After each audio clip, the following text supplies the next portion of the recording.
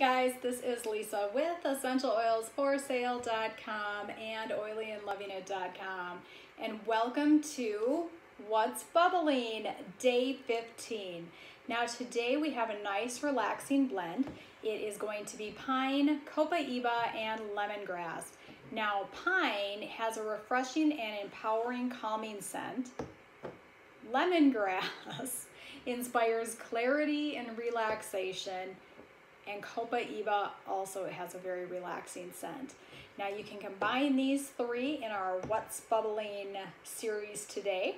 If you don't already have essential oils from Young Living, you can become either a wholesale member saving 24% off retail for life, or you can purchase them retail from our website at essentialoilsforsale.com and we will have the link in the comments below.